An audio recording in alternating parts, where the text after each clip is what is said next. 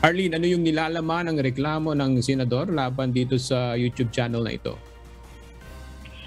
Aga nagtungo nga si Senator Francis Kiko Pangilinan sa Department of Justice upang maghain ng reklamo laban sa management ng YouTube channel na Maharlika dahil sa mga umano'y mapanirang video na pinost nito na paglabag umano sa Republic Act 10175 o ang Cybercrime Prevention Act of 2012.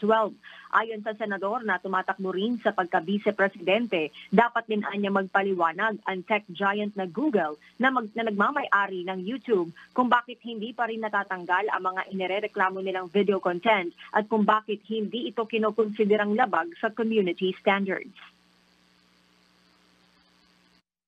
Laganap na kasi yung paninira at ah, pam, pambababoy at uh, kasinungalingan na nilalabas dito sa mga social media platforms laban sa atin, sa aking pamilya, kay Sharon, kay Frankie. Kung hindi natin lalabanan ito, edi parang ah, akala nila okay lang. Lalo na ngayon, panahon ng eleksyon, eh, ang hirap ditong ah, hindi tayo ah, lumalaban dito sa kasinungalingan, paninira at pinagkakakitaan pa.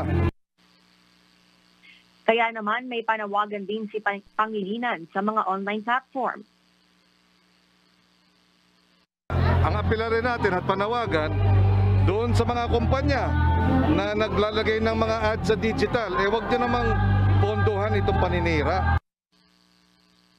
Dagdag ng senador, plano rin ata maghain ng reklamo ng kanyang asawa na si Sharon Coneta Pangilinan at anak na si Frankie. Sinisika pa ng UNTV News na makakuha ng opisyal na pahayag mula sa naturang YouTube channel. Ngunit may mga inilabas na itong video kaugnay ng reklamo. Kasalukuyang may 4,000, 31,000 subscribers ang Maharlika channel sa YouTube habang nasa 900,000 naman sa Facebook page nito. Noong July 2021, una nang naghain si Pangilinan ng reklamo laban sa dalawang YouTube channels na tinanggal rin kalaunan.